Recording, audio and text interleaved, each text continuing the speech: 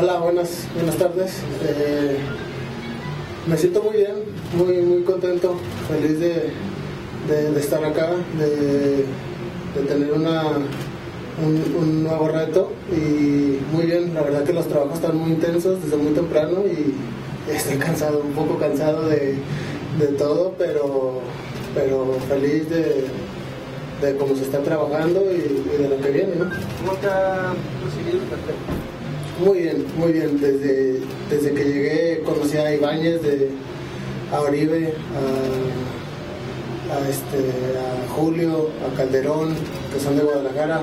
Estamos contando, somos nueve de Guadalajara que, que la verdad que nos llevamos desde, desde hace mucho tiempo.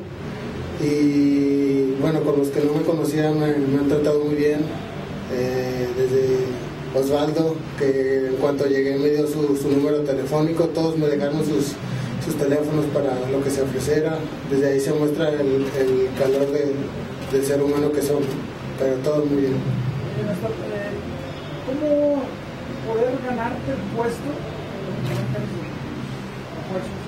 Bueno, una Figueroa, Felipe Balón, están ahí en la central, tantos otros años, fue el un poco más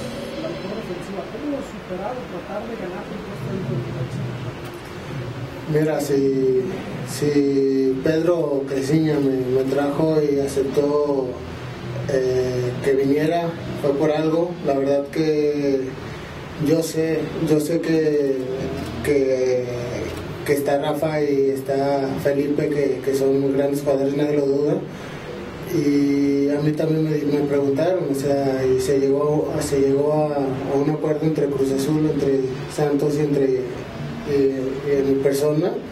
Y, yo sé, yo sé que, va a ser complicado, que va a ser difícil, pero al final de cuentas los jalamos parejo, ¿no? Somos los tres y, al que le toque jugar tiene que jalar parejo y tiene que, tiene que hacer las cosas bien. Igual ya se dijo eh, al que no le toque va a estar otra copa que quiere, va a ser medio boleto a los Libertadores, entonces hay que estar listos, hay que estar concentrados para cuando nos toque.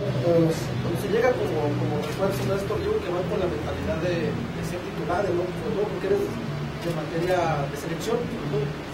Mira, eh, yo al venir acá, yo, yo no vengo ni, ni de titular ni nada yo la verdad que quiero crecer, como bien dices, yo quiero regresar a selección, fue lo que, lo que comenté, yo quiero regresar, eh, tiene uno objetivos, tiene uno metas y, ahí está, ¿no? Yo creo que al venir acá tiene uno la oportunidad de, tener un reto, de, de, volver a selección, de ir a Europa, que es lo que todo jugador quiere, pero vamos paso a paso y, bueno, las decisiones técnicas son de Pedro, ya, veremos qué pasa sobre el torneo.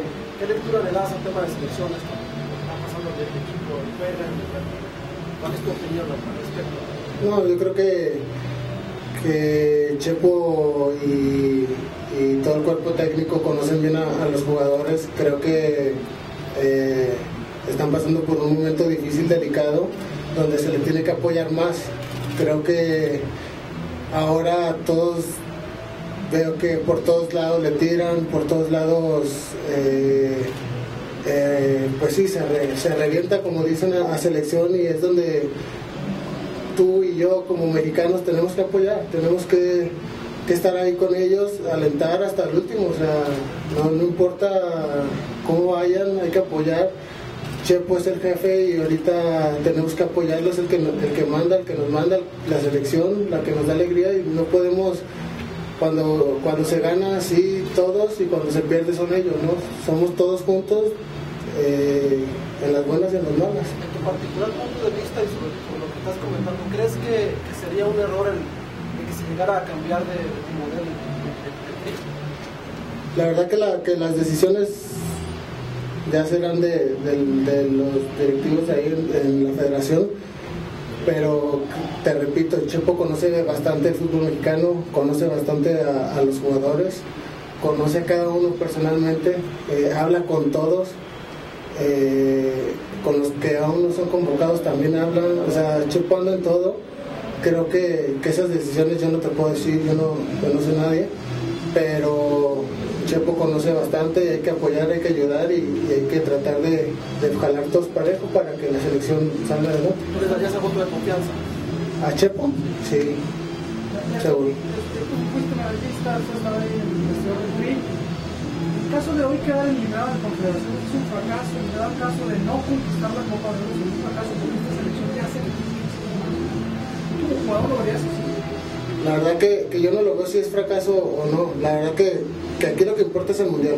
Está claro que, que hay que ganar esos torneos tan importantes, pero el, objetivo y lo máximo es, el mundial.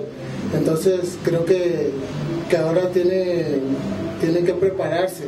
Si bien es cierto, te repito, es un, es un torneo donde, donde es importante, pero hay que jugar bien, hay que, hay que tratar de de que sirva para la meta que es el mundial y que donde ahí es donde primero ir a calificar, pasar ese, ese partido, ese cuarto quinto partido que, que, no, que no se obtiene desde hace años. Entonces, creo que, que, es un proceso y al proceso no le puedes de alguna manera llamar fracaso. Es como con los panamericanos eh, en Copa América se nos llamó fracaso.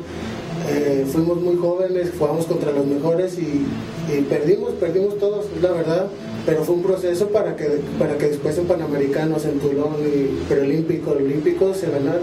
Entonces creo que es un proceso. La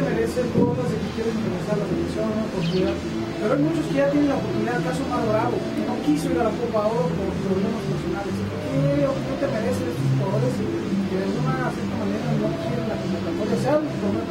que yo no los puedo juzgar. Omar, Omar dice que son cosas personales y yo no sé. Yo,